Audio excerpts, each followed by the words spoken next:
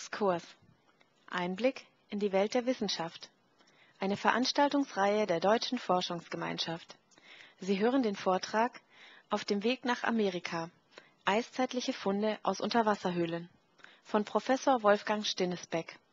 Gehalten am 31. Januar 2018 im Wissenschaftszentrum Bonn. Ich möchte äh, mich sehr herzlich bei Ihnen bedanken, erstmal, dass Sie trotz dieses grotten, grottigen Wetters hier rübergekommen sind. Ich äh, habe gehört, dass es Alternativen gegeben hätte, eine wichtige Karnevalsveranstaltung. Ne? Also insofern herzlichen Dank, dass Sie hier sind. Ne? Ich hätte es durchaus verstehen können, wenn Sie die Alternative gewählt hätten. Ne?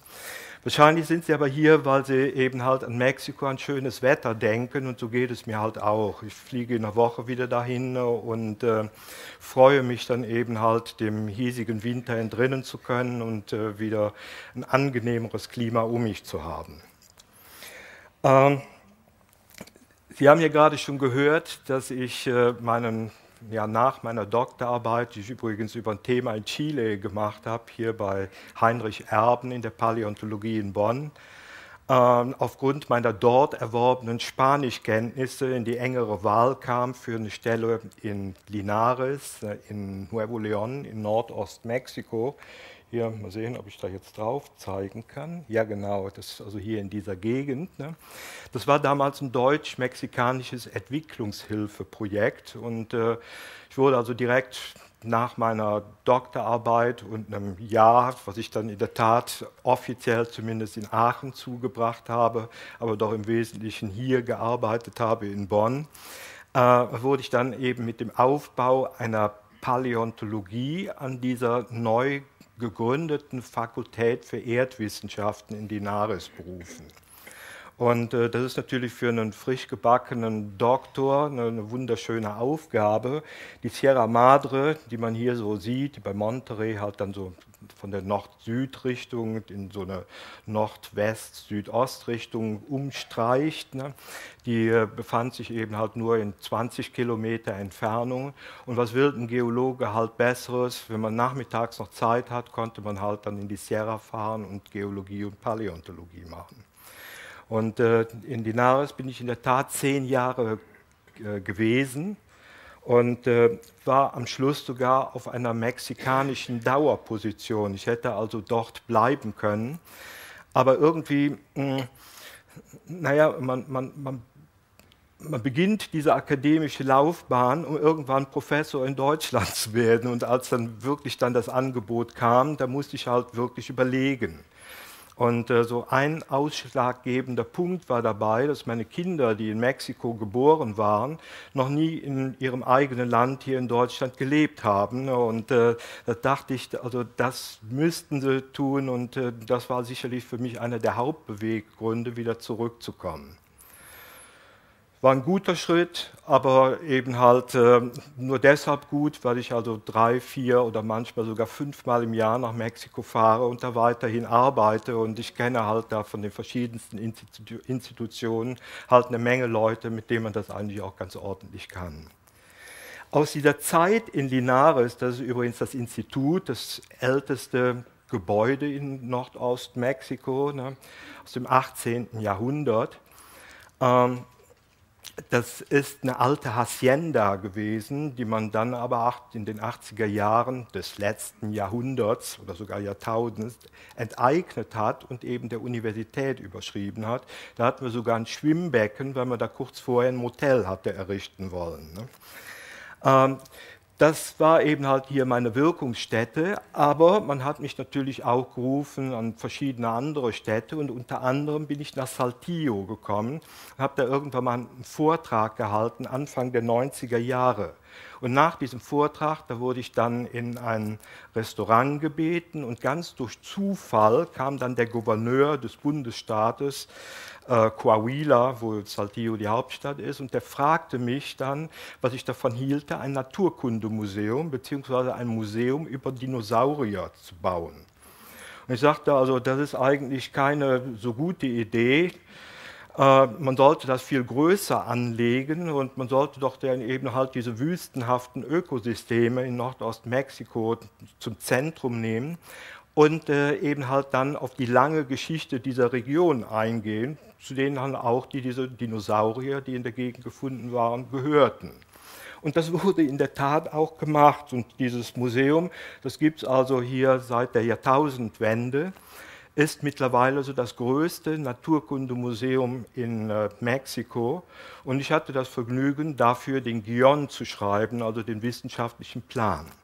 Und das habe ich damals gemacht, zusammen mit einem mexikanischen Studenten, der dann ein paar Jahre später zum Direktor dieses Museums ernannt wurde. Und das war natürlich eine super gute Konstellation. Und wir sind eben halt seit gut 20 Jahren Freunde. Wenn ich nach Mexiko fahre, dann bleibe ich bei ihm im Haus. Wir bekommen die beste logistische Unterstützung durch dieses Museum, die man sich so wünschen kann. Was immer eben halt von deren Seite möglich ist, das bekommen wir. Ne?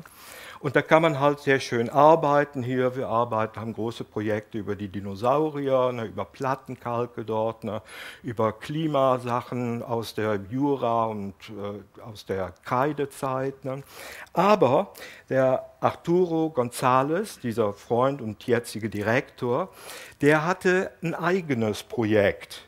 Das ist der Arturo hier oben, man sieht, das ist eine ganze Weile vergangen seit dieser Zeit, also so, ich schätze mal jetzt 15 Jahre her. Ne? Sagte er, Wolfgang, komm doch mal mit nach Yucatan. Und da arbeitete er damals schon über das Höhlensystem im Bundesstaat Quintana Roo, also wo Cancun zugehört und Tulum zugehört, was wir, nehme ich an, die meisten von Ihnen ja kennen.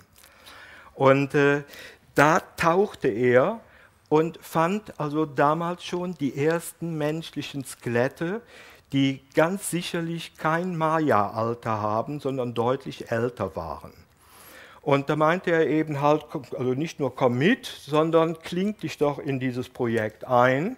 Und äh, hier, das ist einer der Taucher, die jetzt seit 15 Jahren dabei ist, der Geronimo, der Javier, der macht so Fotodokumentation. Carmen hier ist die Ex-Frau vom Arturo, ne, mit der wir aber auch immer noch zusammenarbeiten. Und äh, also es hat eine Weile gedauert, bis ich gesagt habe, okay, ich komme mal mit, ich gucke mir das an. Und es hat dann noch ein paar Jahre gedauert, bis ich mir entschlossen habe, da wirklich auch wissenschaftlich einzusteigen. Das ist für einen Paläontologen, der sich mit äh, Jura- und Kreidesachen beschäftigt, also mit Dingen, die irgendwie 100 Millionen Jahre oder noch älter sind, ist es irgendwie zu jung, sich mit der Eiszeit zu beschäftigen oder sogar mit der Nacheiszeit. Aber Sie sehen ja hier, die Gegend, die hat einige Vorteile. Playa del Carmen kennt man vielleicht, sehr, sehr schöner kleiner Badeort, ne? sehr schöne Strände, wunderschön warmes Wasser, also das ist schon mal ganz schön. Ne? Es gibt die Maya-Pyramiden, das wäre hier Koba. Und das kennen wir alle aus jedem Reiseführer. Ne? Das sind die Ruinen von Tulum. Und so im Hintergrund diese weiße Linie, das ist das Riff. Und wenn man so paläontologisch tätig ist, dann interessieren einen selbstverständlich auch heutige Riffe, das ist doch ganz klar. Ne? Und unter dieser ganzen Halbinsel befindet sich das ausgedehnteste Höhlensystem der Welt, was ja auch ganz interessant ist und eben halt auch sehr spektakulär ist. Und Arturo, der hatte eben halt damals schon vom, ja, vom Bodendenkmalsamt in Mexiko aus ein Projekt über diese Unterwasserhöhlen. Und Sie sehen, das Bild hier ist von 2003. Und man kann erkennen, dass eben halt äh, für diese Arbeiten in den Unterwasserhöhlen eine ganze Menge an Equipment notwendig ist. Man taucht also nicht so eben mal darunter, wie man das vielleicht am Riff machen würde, sondern das ist sehr viel aufwendiger und auch gefährlicher, das zu tun. Denn dieses, dieses Höhlensystem, das ist wirklich labyrinthartig und eben halt über hunderte von Kilometern ausgedehnt. So, Sie sehen hier, das ist logistisch komplex, gefährlich und teuer, wie man sich vorstellen kann, wenn man eben halt so eine Organisation da aufbauen will. Und das sind ja nur die Geländearbeiten. Ne? Aber es lohnt sich. Ne? Ja, das wäre hier so unser kleines Team. Und man sieht, man kann eben halt dann nur reintauchen, wenn man eben halt Tauchpartner hat. Das sind dann immer Doppelflaschen. Man muss sich an die Lebenslinien halten, die man dann selber auch legt, um eben halt wieder zurück zum Ausgang zu kommen. Und trotzdem gibt es da immer wieder tödliche Unfälle dabei. Also das sollte man nicht verschweigen. Ne? Aber wenn man das macht, ist das eine sehr interessante Sache. Man arbeitet zwar in der Nähe des Meeres, ne, aber man bewegt sich im Urwald. Ähm, man sieht ab und zu auch Tiere da.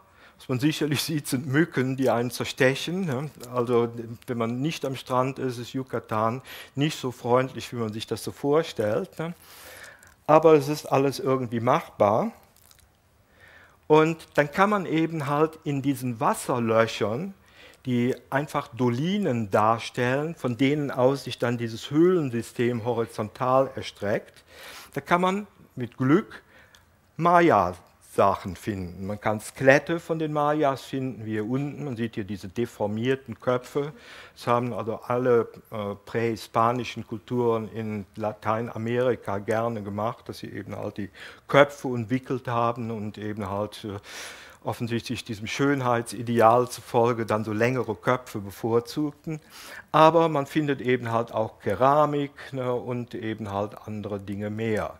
Das findet man aber eben halt nur in der Nähe zu diesen Öffnungen, den Zenoten, ja, also Sinkholes, Dolinen. Und äh, in der Stelle, wo die Frau Joanek nicht ins Wasser wollte, da gibt es zum Beispiel ganz in der Nähe diesen kleinen Altar, der heute im Wasser steht, aber sicherlich das vor 2000 Jahren, als die Maya, den, oder weniger als 1500 Jahren, als die Maya den dahingesetzt haben, noch trocken stand. Man kann eben sehen, dass der Wasserspiegel in diesen Höhlen also leicht fluktuiert. So, was gab es denn in der Gegend vor den Maya? Da muss man einfach sagen, man weiß es nicht. Es gibt also sehr, sehr wenige Funde. Und Sie sehen, beim vielen dieser Funde sind die, die Spannbreiten enorm lang. Ja, das kann 11.000 Jahre sein hier in Guatemala oder eben halt auch nur knapp 5.000 Jahre. Es gibt einfach zu wenige Untersuchungen da. Aber Sie sehen hier oben aus dem Norden der Yucatan-Halbinsel gibt es eigentlich so gut wie gar nichts und die Daten, die weiter unten hier in Belize oder eben in Guatemala vorhanden sind, die sind alles andere als gesichert. So, aber es hat sicherlich etwas gegeben, schon auf Yucatan vor den Maya. Und darüber wollen wir heute reden und wir müssen ja sehen, wie die Menschen damals auf den amerikanischen Kontinent gekommen sind. Ähm, wir wissen halt, dass äh, die Besiedlung Amerikas schon vor über 10.000 Jahren stattgefunden hat, aber dass trotzdem Amerika der letzte Kontinent ist, der von den Menschen besiedelt wurde. Es gab bis vor ein paar Jahren das Dogma, dass die Menschen dorthin gekommen sind über die Beringstraße vor maximal 12.500 Jahren. Das ist die Clovis-First-Theorie, die daraus, ähm, darauf beruht, dass man diese Speerspitzen gefunden hat in Nordamerika, also dem Bereich von Nordamerika, der damals nicht von Eis bedeckt gewesen ist und diese Speerspitzen, die sind datiert worden oder auch bei assoziierte Knochen sind datiert worden auf ungefähr 12.500 Jahre oder etwas jünger.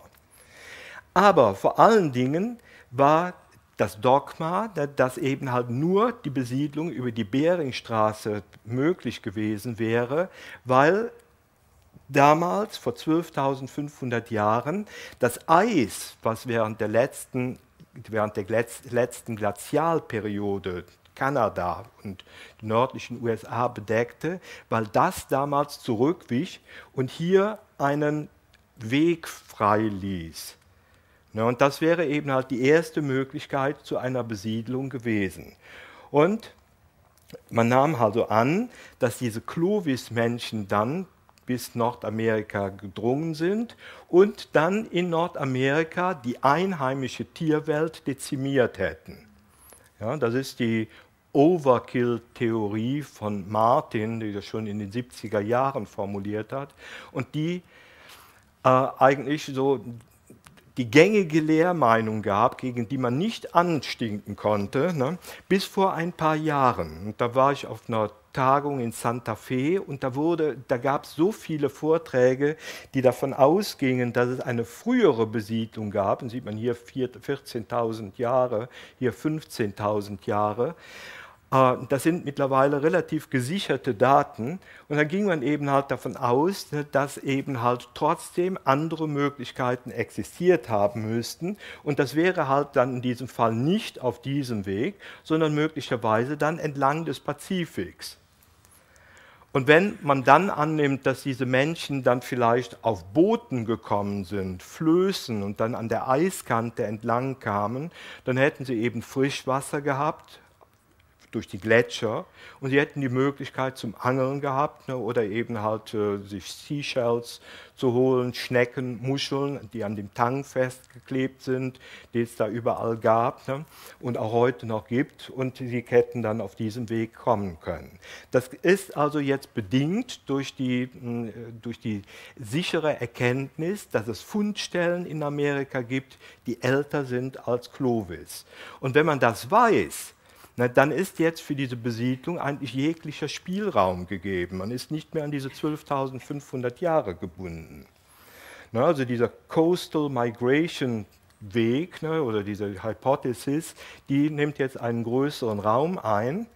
Aber es gibt auch die Möglichkeit, dass diese Menschen sogar von Europa gekommen sind, weil nämlich diese Clovis-Speerspitzen sehr ähnlich aussehen wie diese Solotrian äh, Projektile oder Speerspitzen, die man aus äh, Frankreich kennt oder eben halt aus Spanien.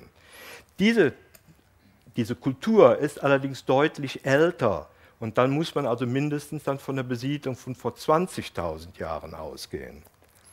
So, also mittlerweile kennt man hier zum Beispiel aus der Paisley Caves in Oregon, kennt man äh, hier versteinerten Kot, oder eigentlich ist es nicht versteinert, also wahrscheinlich immer noch weich. Und man kann organisches Material rausholen. Man kann also DNA daraus gewinnen und man kann eben halt aus diesem organischen Material äh, auch das Alter ganz gut ermitteln, sodass dieser Wert hier von 14.000 Jahren ziemlich sicher ist. Dann kennt man hier aus Monteverde ebenfalls äh, Alter von Siedlungen die ungefähr in demselben Zeitraum liegen. Und ich nehme an, ein Teil von Ihnen ist letzte Woche bei dem Vortrag von Markus Reindl gewesen, der ja hier über die Serra de Capivara in Brasilien vorgetragen hat. Und da gibt es mittlerweile ja die Hypothese, dass äh, Menschen dort schon vor 20 oder sogar vor 30.000 Jahren gelebt haben könnten. Also mittlerweile ist alles offen und mittlerweile ist auch sogar offen, ob man diese Menschen nicht vielleicht von Afrika gekommen sind oder von Australien auch nach Amerika gelangt sind. Also momentan sind wir wieder in so einem Zeitraum, wo jegliche Hypothese möglich ist. Ne? So, was ich aber zeigen möchte, das sind unsere Daten hier aus Yucatan. Ja, da wo dieser, Stahl, äh, dieser Pfeil, nee, Stern ist, ne, das da oben, da läge Cancun, hier unten so auf dieser Höhe, da läge Tulum, das ist also die Riviera Maya und äh, also das ist so die Region, über die ich jetzt im Weiteren berichten möchte. Man sieht schon mal, die Geologie ja, von Yucatan ist in diesem Bereich außerordentlich einfach.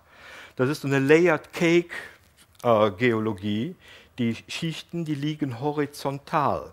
Und das sind Kalke, die bis in die Kreidezeit zu, äh, runterreichen. Also insgesamt, wenn man da bohren möchte, und da gibt es ja den berühmten Chicxulub-Krater bei Merida, wenn man da bohrt oder in dieser Gegend bohrt, dann würde man bis zu drei Kilometern Kalk antreffen.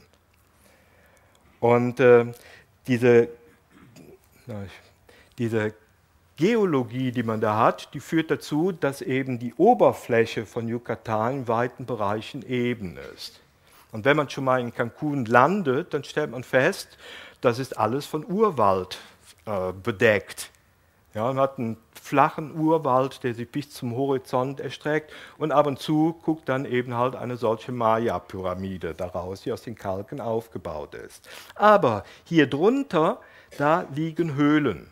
Ne, und ab und zu hat man solche, solchen Ein, Einbruchstellen und da können eben halt die Bäume bis eben halt hier runter äh, kommen und dort unten wurzeln.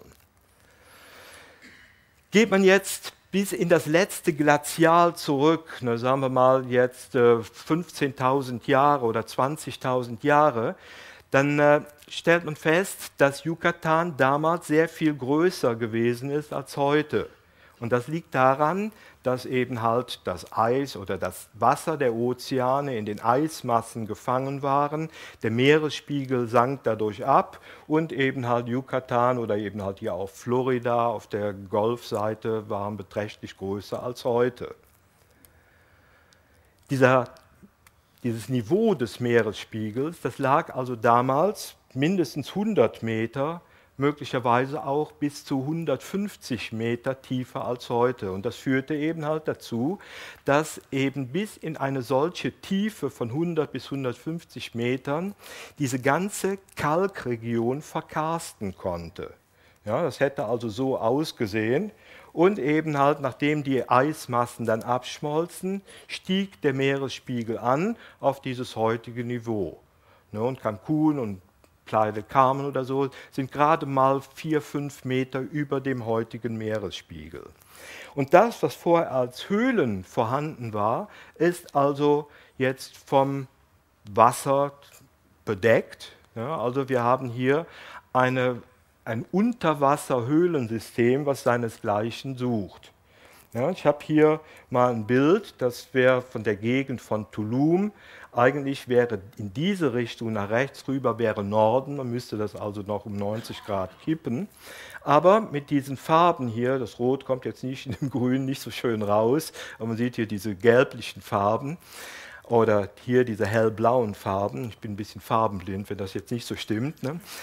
Das sind die größten Höhlensysteme der Welt. Und äh, ich nehme an, Sie haben alle in den Zeitungen gelesen in der vergangenen Woche, dass man diese beiden Höhlensysteme mittlerweile, nee, pardon, diese beiden Höhlensysteme mittlerweile zu einem großen Höhlensystem vereinigen konnte.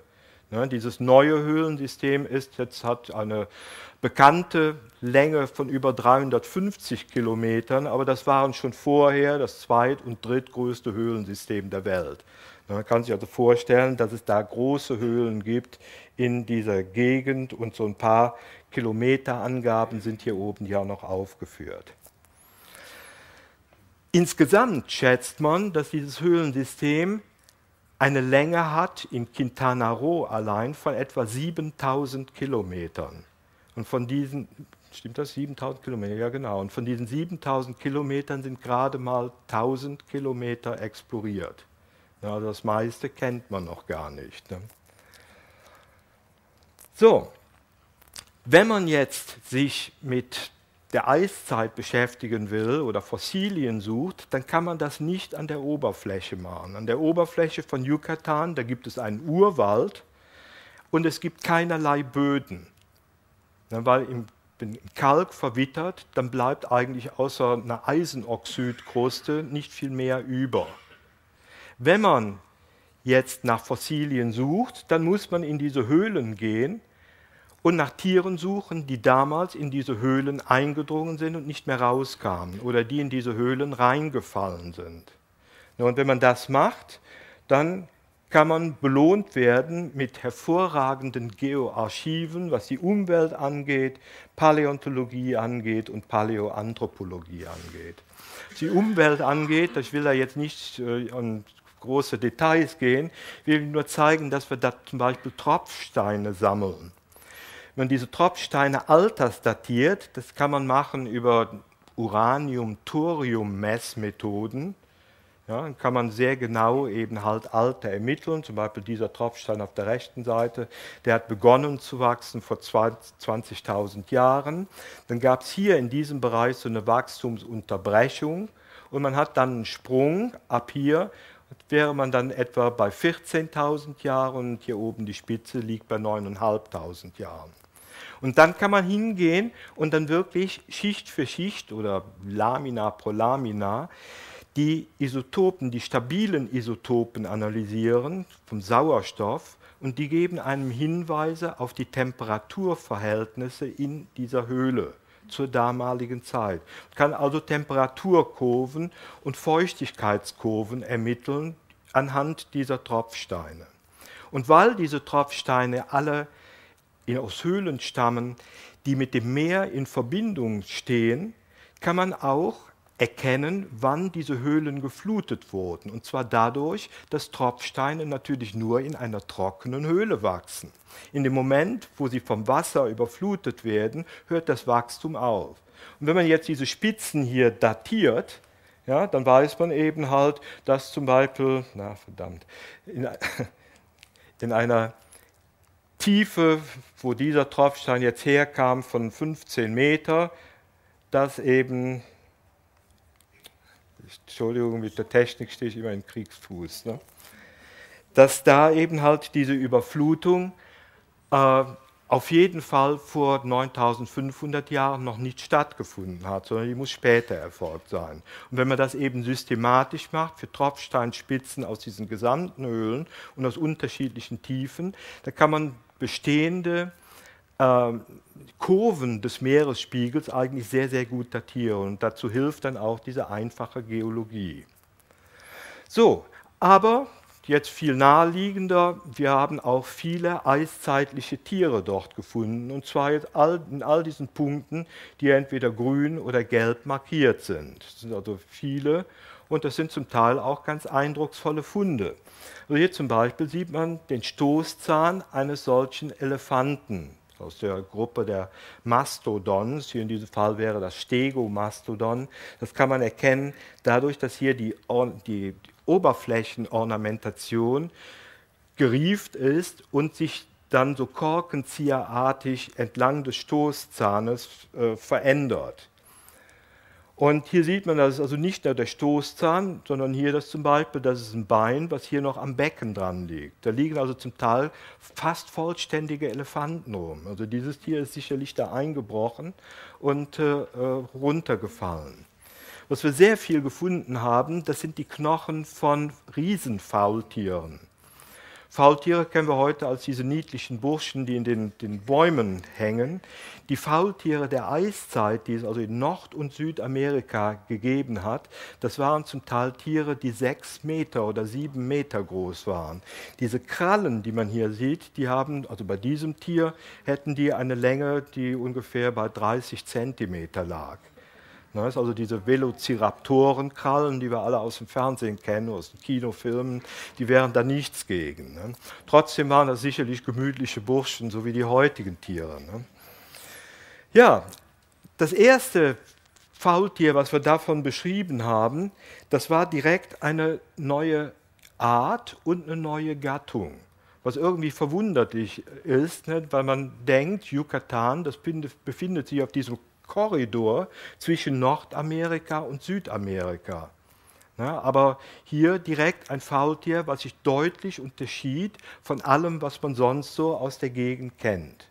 Man sieht hier zum Beispiel dieses Faultier, das haben wir gefunden in einer Wassertiefe von über 50 Meter.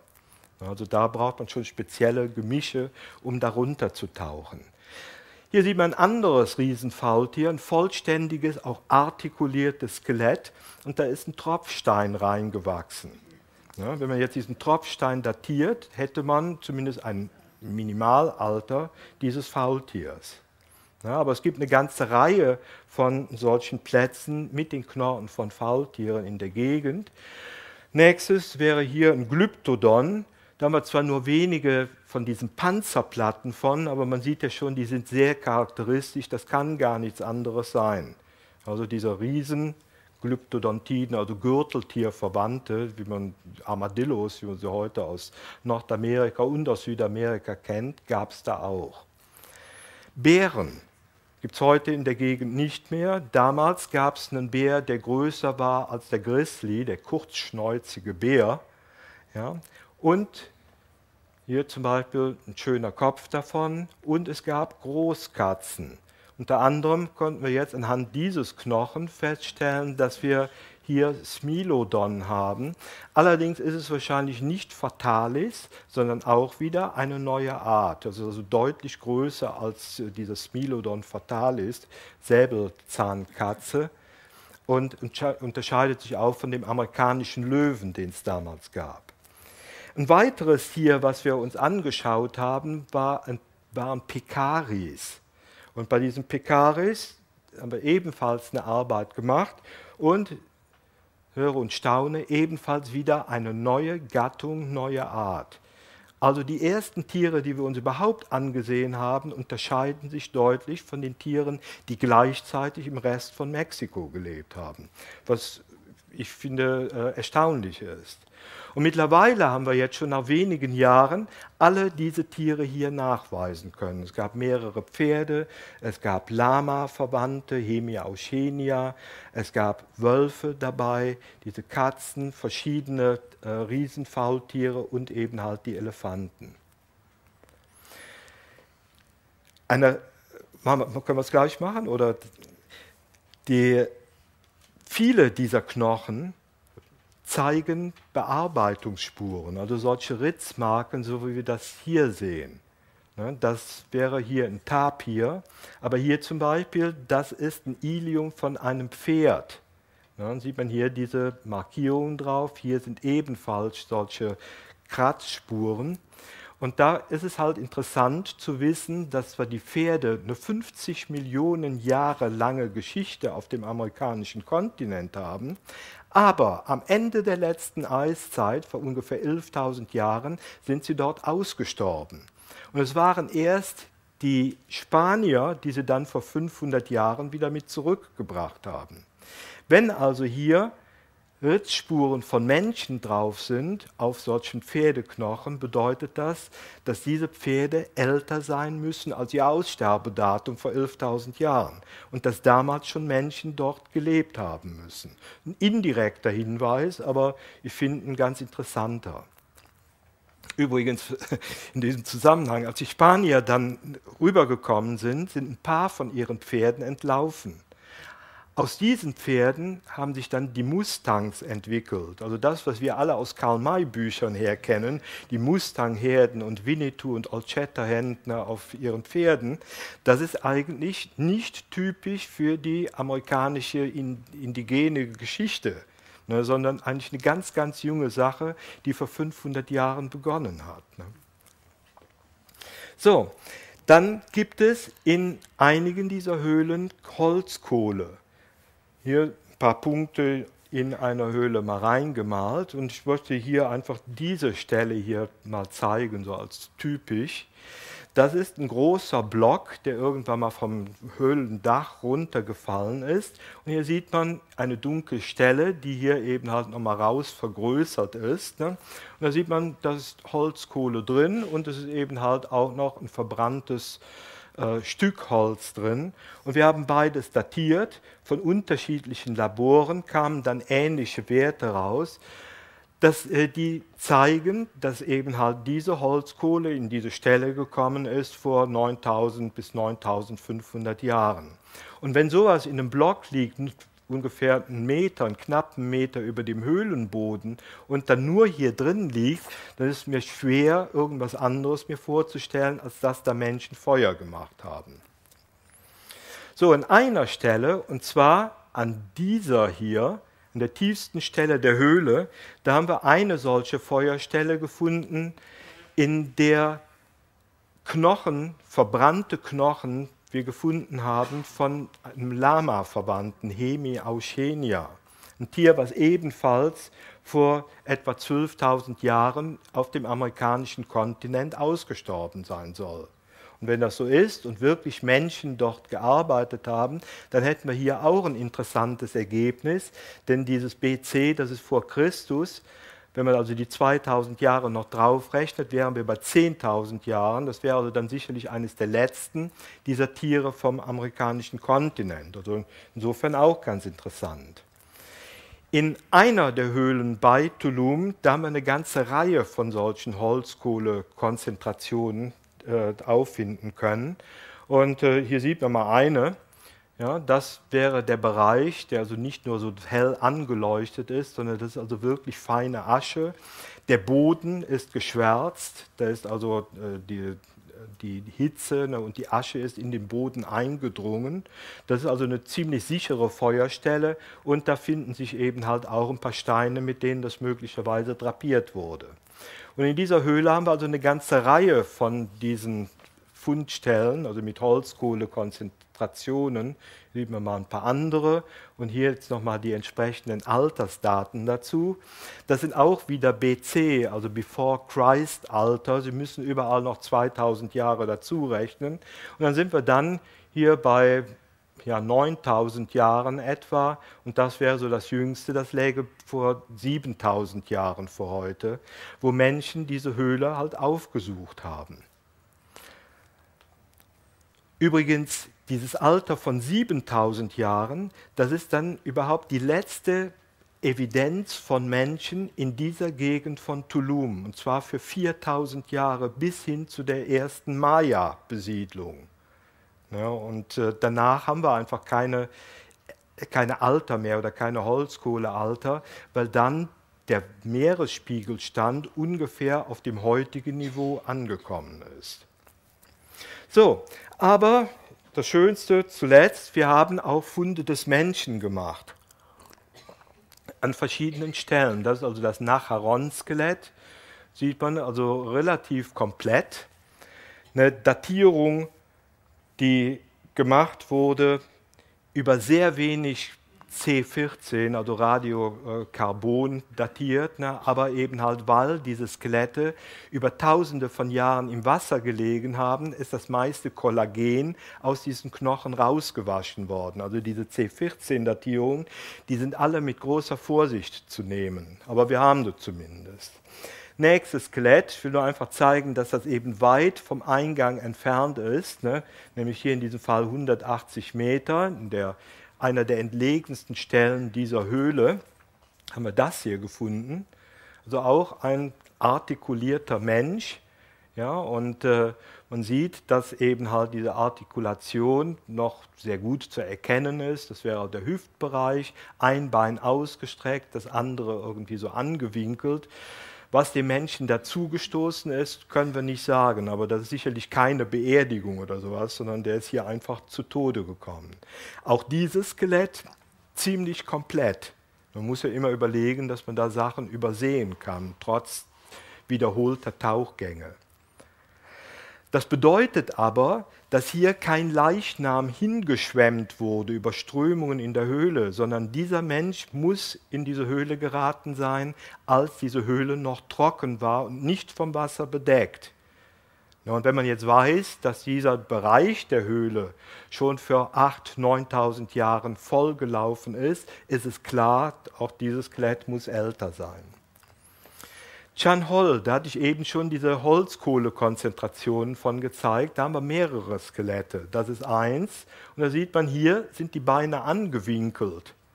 Ja, aber wissen nicht, ob das eben halt, der sich einfach dahingelegt hat ne, oder er beerdigt wurde, sieht eigentlich nach dem Platz nicht danach aus. Ne.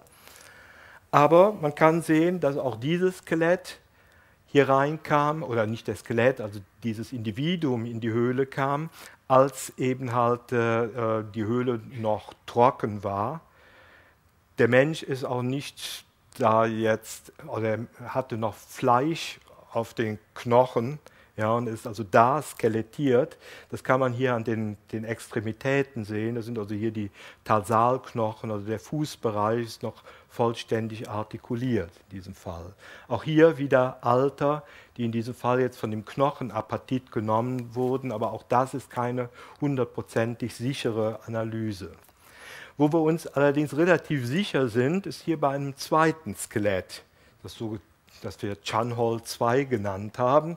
Sieht hier sehr schön den Schädel, das sind alles Knochen, auch hier Knochen. Und äh, dieses Skelett, das haben wir 2012 entdeckt. Und zwei Wochen nachdem diese Entdeckung gemacht wurde, hatte das einer auf Facebook gestellt und andere Leute sind dahin gekommen und haben diese Knochen gestohlen. Können Sie sich das vorstellen? Dass trotz, obwohl diese, dieses Skelett jetzt mindestens 250 Meter vom nächstgelegenen Höhleneingang war. Es gibt also nur eine ganz kleine Gruppe von Höhlentauchern, die dazu überhaupt in der Lage sind, sowas zu machen. Aber trotzdem ist das nicht wieder aufgetaucht. Es wurde alles gestohlen, also was so an großen Knochen da war, ne, der Kopf, die Langknochen und so weiter. Aber es blieb noch Kleinkram über. Das, was sie, diese Leute nicht sofort gesehen haben, viele Zähne etwa, äh, Fragmente der, der Rippen, Fußknöchelchen und, und so weiter, das war noch da. Und was uns hier besonders freut, dass dieser Knochen, den man hier sieht, dass der auch noch da war.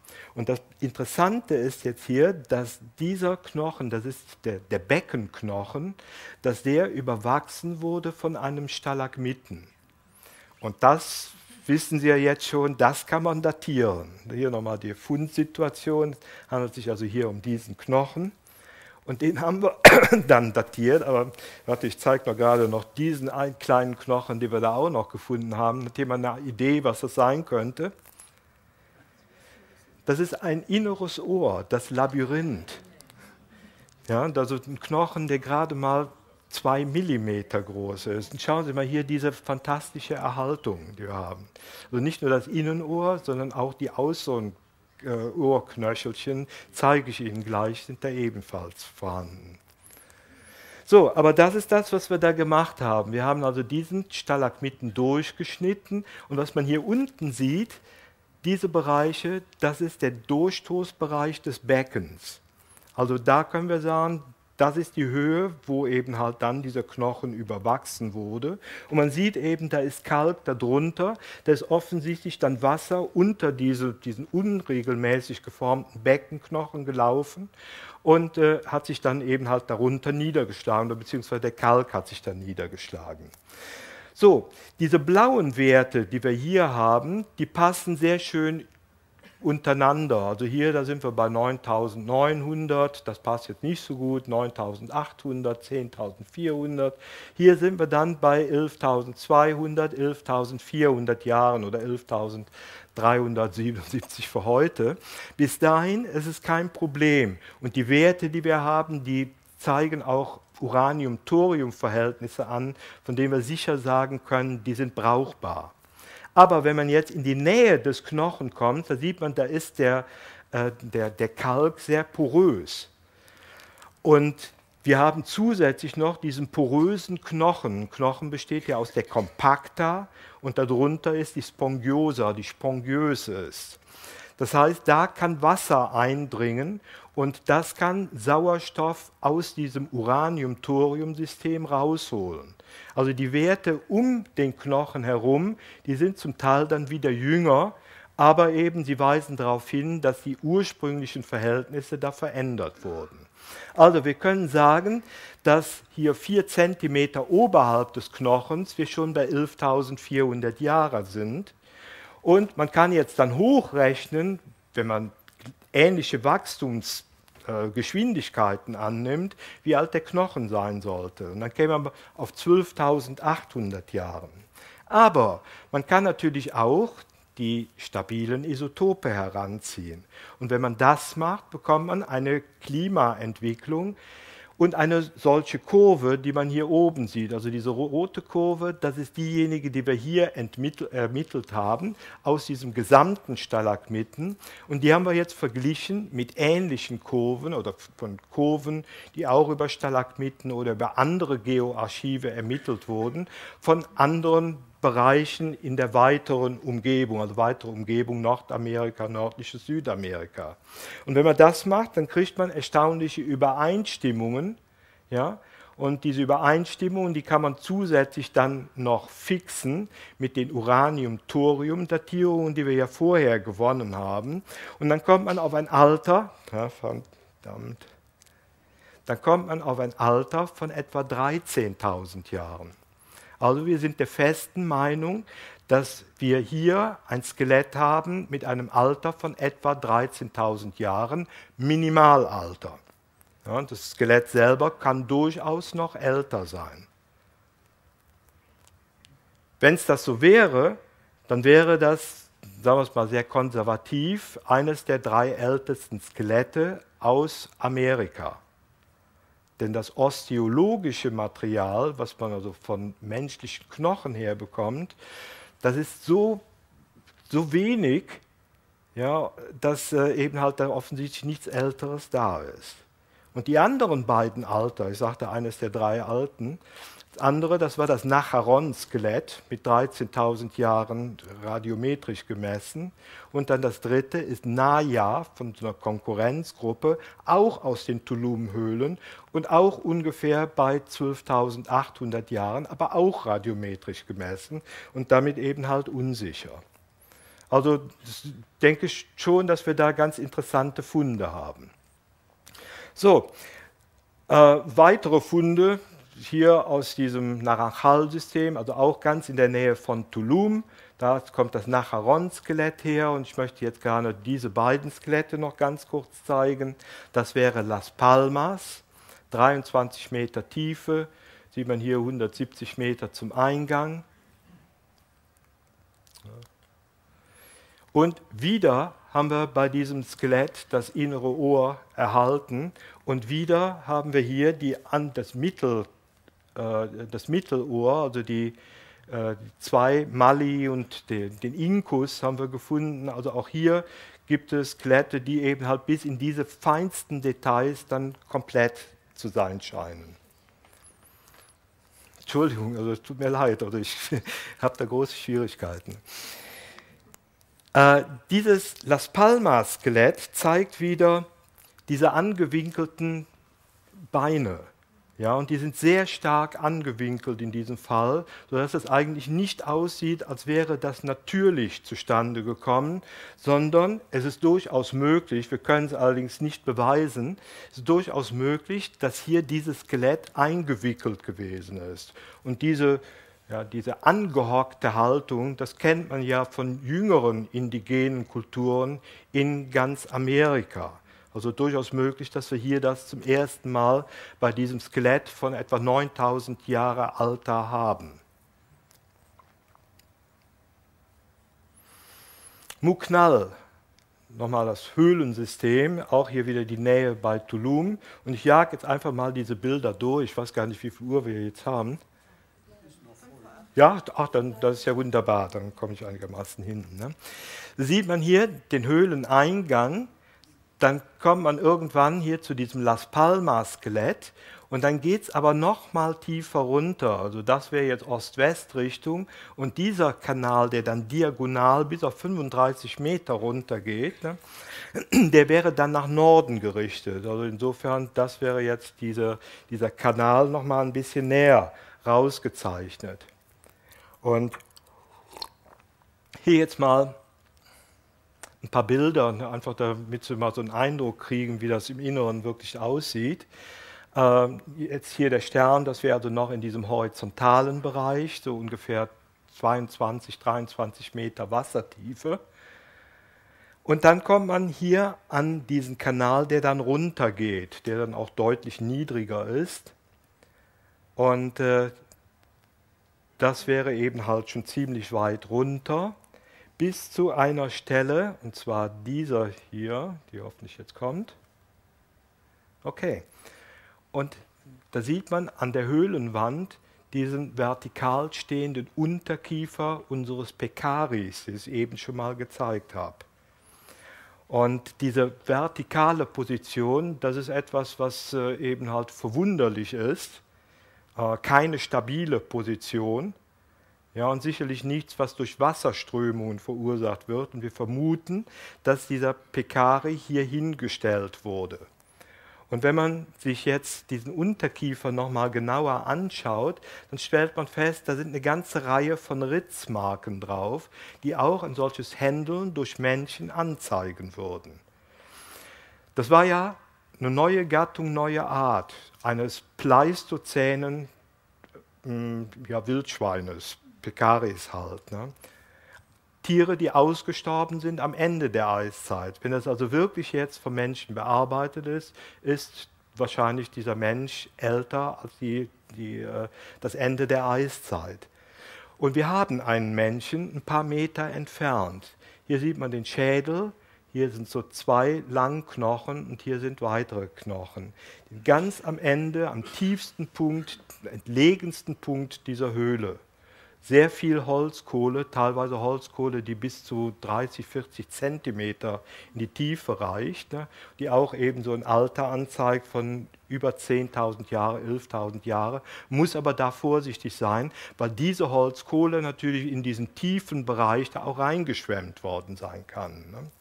So, aber interessant ist, dass dieses Skelett als einziges, was ich Ihnen von den Skeletten, die ich Ihnen so gezeigt habe, nicht vollständig ist sondern wir haben hier nur Langknochen und wir haben den Kopf und den Unterkiefer. Mehr ist davon nicht da. Das sind diese Langknochen und hier eben der Kopf. Und äh, Holzkohledatierung sieht man hier unten. Und äh, jetzt, wenn wir uns diesen Schädel näher anschauen, stellt man fest, das ist schon eine alte Person gewesen. Der hatte kaum noch Zähne. Ja, und sieht hier, dass eben halt die, der, der, Kiefer eben halt noch nicht mal mehr so die, die, die Wurzelbereiche aufzeigt, sondern ist alles resorbiert. Und das, was an Zähnen noch da ist, ne, das zeigt Karies bis auf die Wurzeln runter. Also das ist ein Mann gewesen, haben wir ermittelt und wir haben das Alter so auf 40 bis 45 Jahre ermittelt. Also das war schon eine, ein älterer Herr, ne, sagen wir es mal so. Ich darf das ja ruhig sagen, ich bin deutlich drüber. So, was aber interessant ist, ist auch, ne, dass wir eben halt nur diese paar Knochen haben. Wir haben aber keinen Hinweis, dass diese Knochen durch Wasser dahin transportiert worden sind und wir haben die Knochen genau untersucht. Es sind auch nirgendwo Ritzmarken, die jetzt durch Tiere verursacht worden sind. Hier besteht also die Möglichkeit, dass es sich um eine sekundäre Bestattung gehandelt hat. Das kennt man auch heute noch von heutigen Naturvölkern, dass sie ihre Toten irgendwo ablegen, dann ver, ja, verwest das Fleisch und wenn eben halt die Knochen frei liegen, werden sie wieder eingesammelt und irgendwo anders hin transportiert. Also hier gibt es die Möglichkeit, dass es sich um eine solche sekundäre Bestattung handelt.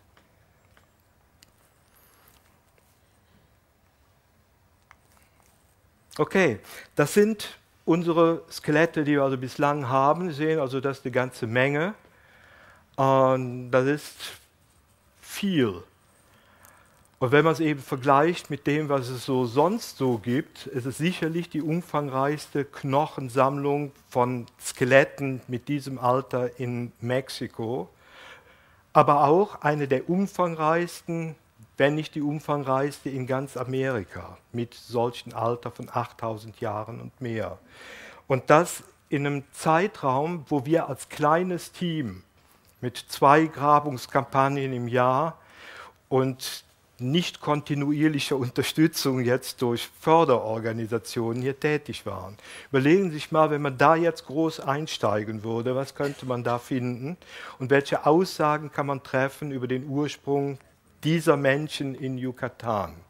Das ist etwas, was unser mexikanischer Kollege Alejandro Terrazas macht, der sich eben halt die Morphometrie, die Kraniometrie dieser Knochen anschaut. Und wenn man das eben macht, dann stellt man fest, das wäre ein unser Knallskelett, was ich gerade gezeigt habe. Wenn das vergleicht jetzt mit den Paläoamerikanern, die man aus Nordamerika kennt, oder eben halt mit den Amerindianern, die eben halt die in die heutigen indigenen Bevölkerungen übergeht, dann stellt man fest, da sind deutliche Unterschiede da. Also hier bei diesen Paläoamerikanern, die haben eine Stirn, die ist viel höher. Diese ist hier sehr viel niedriger. Ja, das sind auch schmale Schädel, die anderen sind sehr wesentlich breiter. Ja, auch hier dieser Bereich der, der Augenwülste und Umgebung sieht ganz anders aus. Also diese Menschen, die wir hier in äh, in Yucatan haben, die unterscheiden sich sehr deutlich von dem, was man bislang so an Schädeldiversität vom amerikanischen Kontinent, von den Skeletten dieses Alters her kennt. Das heißt also, wir haben schon mal ganz sicher hier eine geografische Isolierung gehabt dieser kleinen Menschengruppe, die wir da in den Höhlen haben nachweisen können, die dann eine eigene Mikroevolution äh, mitgemacht haben. Und das zeigt eben halt, dass die Diversität äh, dieser Menschen auf dem amerikanischen Kontinent damals schon wesentlich höher gewesen sein muss als das, was man bislang so kennt. So, ich möchte aber jetzt, bevor ich dann wirklich auch zum Schluss komme, noch zeigen, wie es weitergehen könnte. Das hier ist ein neuer Fund. Ja, das ist gerade mal ein paar Monate her, dass wir ein drittes Skelett in Chanhol gefunden haben. Hier sieht man es noch in der Höhle. Mittlerweile haben wir es schon geborgen, aber noch keinerlei Untersuchungen dran gemacht.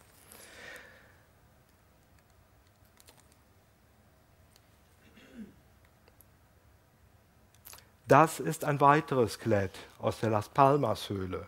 Also wir haben schon wieder zwei neue. Ein drittes neues, auch altes Skelett wurde uns gerade mitgeteilt, dass befreundete Höhlentaucher das aufgetan haben. Also das muss dann dringend geborgen werden, bevor es dann wieder einer stiehlt. Okay, wir haben also hier in diesem Fall eine Besiedlung. Diese Sterne sollen unsere Skelette anzeigen. Ich habe jetzt nur mal zwei Sterne, der zweite sollte irgendwie auftauchen, hier reingesetzt. Ne? Ja, genau, da haben wir ein Jahr mit Altern von 10.000 bis 13.000 Jahren. Also hier so als Beispiel der Mugnalmann.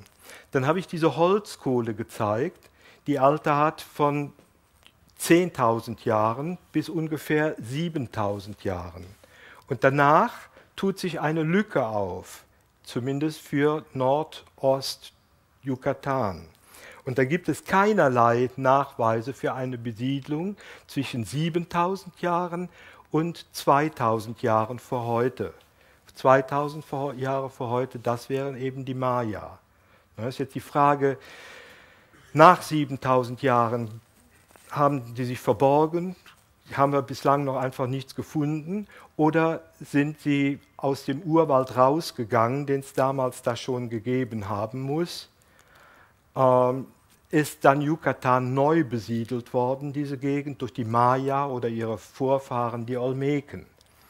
Und da können vielleicht neue, weitere Funde, die wir jetzt in den letzten paar Monaten gemacht haben, könnten da weiterhelfen. Denn hier auch bei Tulum, da haben wir jetzt eine Stelle gefunden, mit, wo wir zwei radiometrische Altersdatierungen gemacht haben und beide zeigten übereinstimmend 3500 für heute, also 1500 Jahre vor Christus und damit eben halt mehr, deutlich mehr als 1000 Jahre vor diesen 2000 Jahren, die ich gerade genannt habe. Ja, also es, wir, haben, wir können, glaube ich, diese Lücke weiter schließen. Und dann möchte ich gerne noch ein paar Bilder zeigen aus einer typischen Maya-Höhle, und da war jetzt gerade am vergangenen Wochenende, da war ein mexikanischer Kollege da, der hat mir Bilder gezeigt und die will ich Ihnen nicht vorenthalten, weil ich sie finde, ganz spektakulär finde. Aber erst hier diese Chumpon-Höhle mit diesen beiden Altersdatierungen, die wir haben. Und in Chupon, da da wissen wir schon, sind nur zweimal da reingetaucht, oder meine Kollegen sind da reingetaucht, wir wissen schon, dass da 13 Skelette rumliegen, die keiner bisher analysiert hat. Wenn wir Altersdaten kriegen, kriegen wir auch DNA-Daten. Und da wissen wir, sind es Maya oder sind es Olmeken oder ist es noch was anderes. Also das denke ich mir, das wird eine richtig spannende Sache. Und das ist sind ein paar Bilder jetzt von dieser Estrella-Höhle, die ist in der Gegend von Cobar für diejenigen, die sich da auskennen. Und in dieser Höhle, die direkt unter einem Dorf liegt, also auch sehr, sehr stark bedroht ist, dass da Leute reingehen, da sind also schon zwölf, glaube ich, Teil, zumindest teilartikulierte Skelette von Maya drin. Ja, das ist eine Trockenhöhle, was uns ganz andere Untersuchungsmethoden erlauben würde. Wir haben schon gesehen auf ein paar dieser Bildern, dass Schädeldeformation vorhanden ist. Also das ist richtig interessant. Und was man hier auf diesem Bild sieht, das ist hier so ein Unterkiefer, hier ist so ein Stück Wirbelsäule, hier das ist ein Humerus. Ne? Äh, an einer Stelle sind auf jeden Fall mindestens fünf Skelette, überwiegend artikuliert und an fünf anderen Stellen sind Einzelskelette, die, nur, die wir nur gefunden haben oder dieser Kollege gefunden hat, auf einem einzigen Besuch. Und diese Höhle ist also ziemlich äh, ausgedehnt. Dann sieht man, hier ist diese Höhle von den Mayas kompartimentiert worden. Die haben also kleine Mäuerchen aufgerichtet und da so Öffnungen reingemacht. Und hier unten sieht man, es ist Keramik drin. Einfache Keramik, aber sie ist auf jeden Fall vorhanden. Das nächste Bild zeigt Wandmalereien. Und zwar hier oben, also das könnte so einer dieser Spinnenaffen sein, die in dieser Gegend wohnen. Aber hier unten zum Beispiel, da sieht man so einen Handabdruck. Ja, und dieser Handabdruck, der ist übersintert worden. Ja, es zeigt also, dass er schon älteren Datums ist. Und Sinter kann man wieder datieren. Also das ist also auch eine ganz interessante Sache. Und dann, was ich persönlich jetzt besonders spannend finde, ist sowas. Hier sieht man die Speiche etwa und einen Stalagmiten, der da drauf gewachsen ist. Auf einem Skelett aus der klassischen Maya-Zeit, ne, also im Alter von mehr als 1200 Jahren und der Stalagmit ist danach drauf gewachsen und das ermöglicht uns es wieder Klimageschichte zu machen für diesen Bereich der Yucatan-Halbinsel. Und zumindest in zweien dieser kleinen Mäuerchen, da sieht man auch längere Stalagmiten, die auch noch gewachsen sind, nachdem die Maya dieses Mäuerchen aufgerichtet haben und eben halt da Sediment hochgebaut haben. Und man sieht eben halt hier zum Beispiel, diese Spitze, die ist noch ganz hell, das ist nass, da hält das Wachstum bis an die heutige Zeit an. Also da denke ich mir, das ist jetzt keine Paläontologie mehr, aber da denke ich mir, da wird sich auf jeden Fall lohnen, da auch weiterzumachen. So, und damit bin ich am Ende angekommen. Ich hoffe, ich habe Sie nicht allzu sehr gelangweilt und freue mich auf Fragen. Vielen Dank. Ne?